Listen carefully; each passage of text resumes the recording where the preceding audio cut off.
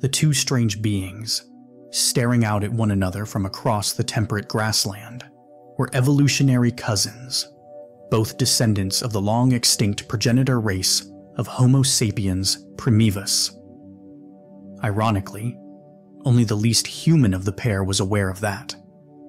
His name was Talandros, though he normally neither spoke nor thought in a phonetic language. The only parts of him that were biological were a brain more than thrice the size of an ordinary human's, and some auxiliary tissues. And these cells were comprised of synthetic XNA helixes that were vastly more complex and information dense than DNA or RNA. Perpetually self correcting and self optimizing, both his psyche and flesh had persevered for thousands of millennia and could easily survive for thousands more. The rest of his body was a polymorphic biomechanoid made of nigh indestructible exotic matter, currently configured into the relatively traditional form of a four limbed theropod. His exterior was covered in a coat of iridescent, silvery filaments, each one fully prehensile and fractally branching off into smaller prehensile filaments, going all the way down to the molecular level. His large brain and other essential components were soundly secured within his ellipsoid torso, allowing his head, which was actually just the end of his forwards facing tentacle, to be dedicated solely to an array of sensory apparatuses. His face was composed of a rotatable, dilatable ring of six elliptical eyes, with multiple sets of air intake valves that were able to analyze the local atmosphere. His forelimbs, which moments ago he had used as wings to soar across the sky, were now a sprawling mangle of branching tentacles, whereas his hind limbs were held together much more tightly to serve as legs. His tail, though currently only being used for counterbalance, could be repurposed into a third leg or extra arm in a jiffy if he needed it. Mighty post human though he was, much like an ordinary human, Talandros couldn't actually recall the early years of his life. Superfluous information was routinely condensed and pruned, and at some point over the eons, his creation and nascent existence had been reduced to mere declarative memory, as impersonal as anything else in his mental encyclopedia. While he had never been to Earth before, he knew that his ship the Fornostica, had originated in Sol. His crewmates had been star hopping from one solar system to the next, spending decades to centuries studying each one before moving on at near light speed. Eventually, they had circumnavigated the entire galaxy and returned to Sol. They were first greeted by the Star Sirens, a very ancient race of microgravity adapted transhumans that were said to date back nearly to the beginning of humanity's expansion into outer space. Conservative even by immortal standards, they had changed little in all the time that the Fornostica had been gone. Like sharks and crocodilians, the Star Sirens viewed themselves as already perfect and beyond any need to evolve further. While a race of early transhumans that was still counted among the genus Homo may have seemed primitive to Talandros, they were still the most numerous race in Sol or any other star system with a permanent human presence, and all must yield to their authority as mistresses of the skies. Their success was a testament to the importance of initial conditions in the history of spacefaring civilizations. Had Talandros' race come first, they would have easily outcompeted the star sirens before they could have gained a foothold in the cosmos but the Star Sirens had capitalized on their first mover advantage. And now the mermaids the ancient bioengineers had turned loose would rule the stars forevermore. It had been the Star Sirens who had given Talandros, along with his ship and crew, their phonetic names. They were also, incidentally, the reason he was now called a he at all. Talandros, of course, had no sex chromosomes, no reproductive organs, and no psychological or social gender. But, to the Star Sirens, all men were foreigners, and at some point in their culture's history, all foreigners had become men by default, so that's what they put on his visa. While the Star Sirens may have treated the crew of the Fornostica as coldly as they would any outsiders, they escorted them to Mars without a fuss, where they were treated to a much warmer welcome. Talandros had been delighted to find that Mars was now a sprawling ecumenopolis. In the low gravity and thin atmosphere, pressurized skyscrapers made of imperishable materials that averaged over a thousand stories high had gradually accumulated to the point that they now blanketed the once red planet and housed trillions of sapient beings. It was so vast that the planet's average temperature was kept above freezing simply by the city's waste heat. Hundreds of thousands of terawatts beamed to them from the Dyson swarm of solar collectors that had once been Mercury. The Martians themselves were much like Talandros' own people, a well-ordered technady of demi-godly, post-humans with a Saganian love of science and reason. They welcomed them home as prodigal sons, eager to learn of their long expedition and celebrate their courage and scientific spirit. Talandros happily spent his first few hundred days on Mars, telepathically exchanging higher dimensional semantic graphs with the hyper-intellectual elites or soaring amongst the literal skyscrapers through the rarefied atmosphere. He didn't dare to dive too deep, however, for the fetid abyssal depths were long neglected and were perilous for civilized beings to explore. While Mars may now have been the heart of human civilization, the Earth would always be its cradle. Though Talandros fully intended to spend the bulk of his planned centuries in Sol on Mars, when the planet once again came into alignment with Earth, he decided to spend the next couple of years paying it a visit. Earth was a strange planet, though.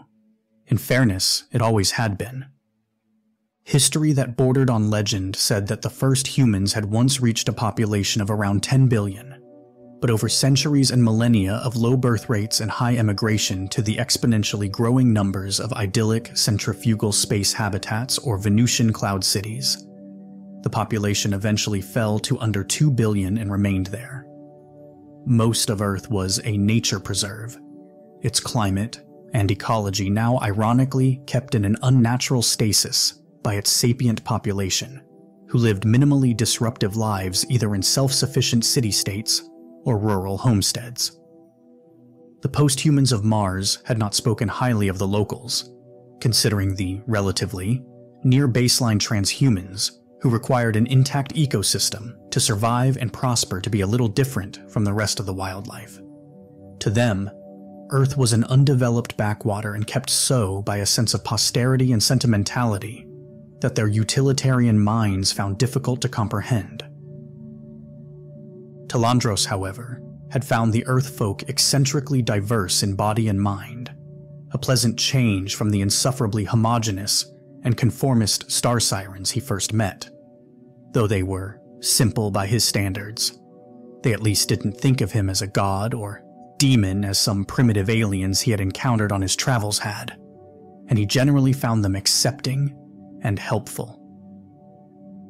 The vast nature preserves he visited were not completely unpeopled, but were home to indigenous tribes of techno primitivists one such tribe of genetically engineered Goliathans roamed the plains and woodlands, herding mammoths and terror birds, eschewing any technology other than what they could make with their own hands, or the nanite symbiotes in their bodies.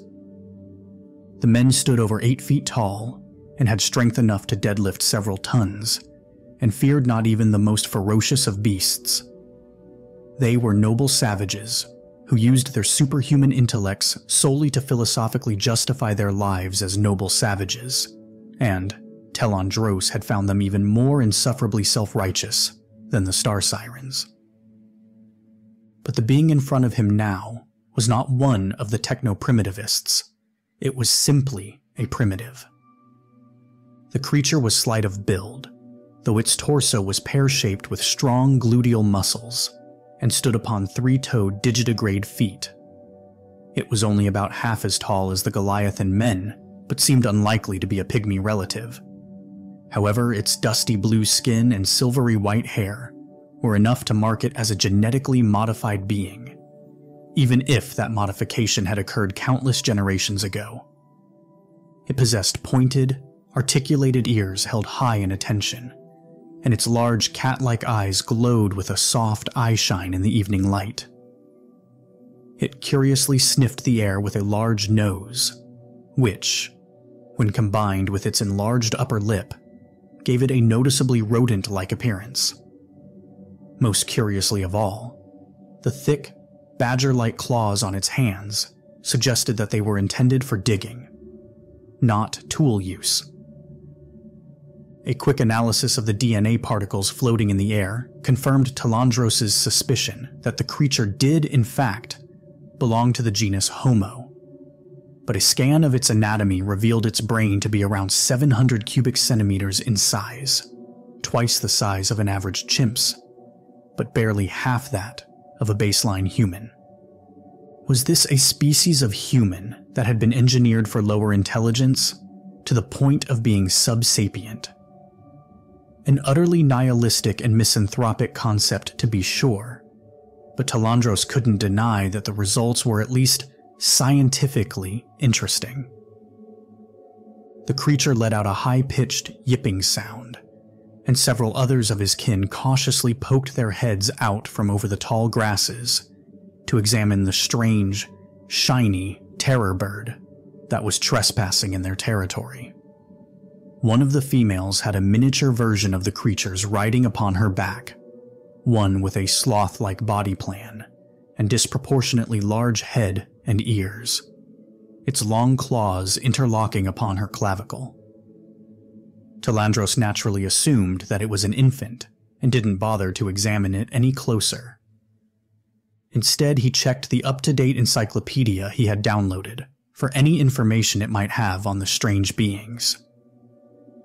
He immediately found that they had been given the seemingly endearing name of Gnolings, and were descendants of some of the earliest ecosapiens. These had been primitivists who had opted for genetic modifications to minimize their ecological footprints. Unlike the Goliathans, who had prioritized their own survival and well being when redesigning their bodies for a Stone Age lifestyle, the Eco Sapiens had wanted to have as little impact on the natural environment as possible. This meant not only making themselves smaller, but altruistic enough that they would willingly endure the sacrifices their lifestyle demanded of them for the benefit of an abstract concept of nature that they could never consciously appreciate. Their altruism eventually led to them becoming completely eusocial, and their utter dependence on their tribe along with the demands for conformity, had actively selected against high intelligence. Electively cut off from civilization, they were at the mercy of natural selection, and over the eons, their full sapience had been lost. Tragic, but at least not atrocious, Talandros thought. He saw in his encyclopedia that they did still possess a simple language with a few hundred short words, which they would compound together when that vocabulary proved inadequate. The precise and information dense phonetic languages of the other transhumans Talandros had met already seemed like oversimplified baby talk to him, but he supposed he could give this a shot as well. He carefully constructed the simplest semantic graph in his mind that still conveyed what he wanted and vocalized it into the Gnolings language. Hoot, good hoot, very good hoot at sunby.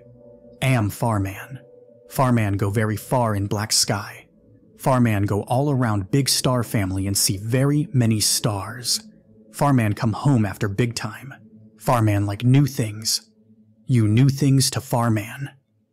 Trade stories with Farman. Hoot, The Gnolings stared silently at him for a moment, before exchanging confused glances with one another. They had never heard a terror bird talk before, he assumed, but they also lacked the intellectual capacity to be astonished by such a thing. What? The first of them finally barked back. Talandros hung his head in resignation. Productive communication between himself and the Gnolings was likely not possible. As he wondered if one of the Goliathans might be able to serve as an interpreter between them, the baby babbled something that he didn't bother to translate. His packmates, however, heeded the command, and all turned their backs to Talandros in unison, dropping to all fours and scampering off through the tall grass. Not wanting to let this unexpected opportunity pass him by, Talandros sprinted off after them in pursuit. He switched his focus to his infrared vision so as not to lose them in the grass, though they proved to be not much warmer than the surrounding environment. Keeping his distance and stooping well below the grass so as not to alarm them, he ran along the ground as silently as an owl in flight. He watched as the Gnolings all formed into a single file, then disappeared down a large tunnel into the earth. This was no doubt the warren that they had dug with their own claws, and according to his encyclopedia, there would be dozens to hundreds of Gnolings spread throughout an extensive network of tunnels and chambers. Talandros retracted his limbs and elongated his torso to adopt a more weasel like profile, and slunk down the tunnel, eager to see the great knoll hole for himself. He had been prepared to use his infrared and sonar sensors to view the warren, but to his surprise, he saw a glimmer of blue light twinkling just up ahead. Upon closer inspection, he saw that it was a log with large bioluminescent mushroom caps growing out of it, its placement suggesting that the Gnolings were using it as a lamp. The regular placement of other such mushroom logs throughout the tunnel seemed to confirm this hypothesis, and soon Talandros came upon a chamber that was completely awash in the soft blue glow. Peeking his head inside, Talandros saw an immense and orderly stockpile of the logs alongside storage niches filled with picked mushroom caps by themselves. He realized that the Gnolings must have been farming the mushrooms for food and light, and most likely, the shiny beetles he saw feeding on the rotting wood as well. This was likely a holdover from their Eco Sapien days, and it made him wonder what other more complex behaviors these lowly creatures might still retain. A pair of Gnolings in the chamber spotted him immediately and began yipping, a warning cry that was echoed by a hundred other voices throughout the warren as they dashed off down another tunnel. Talandros could tell that they were heading towards some kind of large, central chamber, something he was determined to see with his own eyes before returning to the surface. Swiftly, he pulled himself along like some lizard chasing burrowing rodents, or at least that's surely how he seemed to the Gnolings. Soon the tunnel ended, dropping him into a vast subterranean cavern that had been dug out by claw generation by generation. A shaft of crepuscular light beamed down from the surface through a ventilation chimney, beneath which lay a hand dug well that provided the Gnolings with their water and a hearth they kept for fire. Dozens of the Gnolings had assembled in the central chamber, and all had gathered around a singular, venerated figure their queen. She wasn't hard to spot, being not only larger than the others, but taller as well, nearly as tall as a baseline human woman it seemed that most of the Gnolings were neotenic, never experiencing full puberty unless selected to breed. Only one female could breed at a time, and she dedicated herself fully to the responsibility. She was surrounded by a harem of several breeding males and wet nurses who cared for the offspring she produced. The entire colony hissed and screeched at Talandros, trying to drive him off. One male, armed with a flint hand axe virtually indistinguishable from one his Homo habilis forebearers might have used, leaped towards Talandros and struck him with it. The stone shattered to pieces, leaving his hand bleeding and Talandros utterly unscathed. Two more males tried attacking him in this manner and experienced identical results. The cries of the Gnolings became increasingly panicked at this development, while Talandros remained utterly unperturbed. His attention was instead on one of the wet nurses and the infant suckling at her teat, an infant that did not look like the small being he had seen earlier. Puzzled, he surveyed the central chamber in its entirety, eventually spotting three of the large headed, large eared little ones seated in a circle of mushrooms that sprouted directly from the ground rather than from a log. All three were looking at him with a keen gaze that seemed more acute than what a gnawling should be capable of, let alone an infant. Checking his encyclopedia once again, Talandros was startled to find that these small members of the Warren weren't infants or even juveniles, but rather shamans of the Gaia trees. The Gaia trees were plants that had been engineered to be biological server hubs and communicated with each other in more traditional internet cables through genetically modified and nanotech enhanced mycelial networks.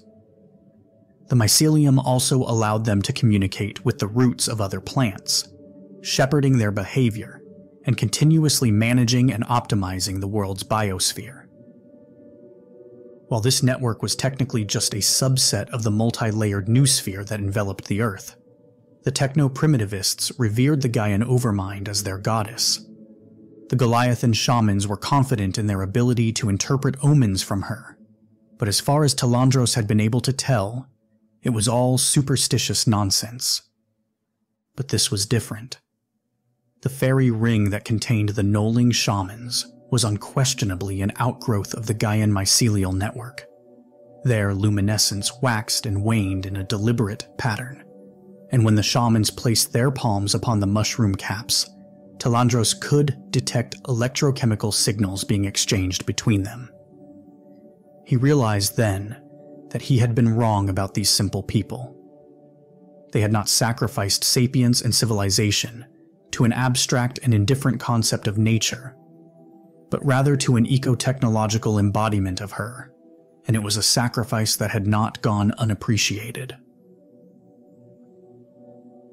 The Gaian overmind had shepherded these people's evolution, sparing the intellect of the shaman caste so that they would have someone able to interpret her will for them, even if most of them had the minds of toddlers. Rationality and intelligence were never what their ancestors had truly valued about being human. Living as harmoniously as possible with nature and one another was what the eco sapiens of old had valued above all else and that was what their descendants now had. And there was nothing tragic about that at all, he realized. Good hoot, far man. One of the shamans greeted him in a high pitched voice, the rest of the warren falling silent at the sound of his revered voice. Big man's no come to Nullhole, but you strange man. You know no good ways. You dummy dumb. But Gaia say you spoke true of flying through stars. Stars very high but very small. Gaia big far man. Gaia protects Noldlings.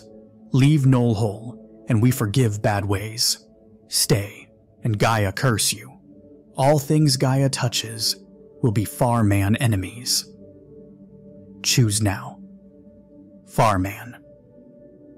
Though it amused him that the Noldlings thought of him as stupid, given his earlier botched attempt at oral communication, he decided that it was better to remain silent and be thought a fool than to open his mouth and prove it. Instead, he placed his left forelimb onto a nearby log and extended his microscopic manipulators into the dead wood to draw out the carbon. Holding his forelimb high for all to see, he rapidly began assembling the carbon molecules into a stylized diamond figure of their sacred mushrooms. He intentionally designed its lattice to make it phosphorescent, so that it would always glow with the same light as the real things. When the idol was complete and still hot in his hand, he delicately placed it within the fairy ring for the shamans to examine. While the other Gnolings, even the queen, gawked on in fear and wonder. The shamans knew through their bond with the Gaian Overmind that such a thing was not only possible, but common among the civilized peoples. Each shaman inspected the offering one by one and, in turn, nodded their approval. His peace offering accepted and his curse averted, Talandros bowed graciously before shooting up the chimney overhead. Launching himself straight into the air, he resumed his aerial theropod form and continued soaring across the grasslands. He meant now to study the Gaian overmind in more detail, eager to discover what other unexpected interactions it might have with the ecosystem and its people. Earth truly was a strange planet. But in all fairness, it always had been.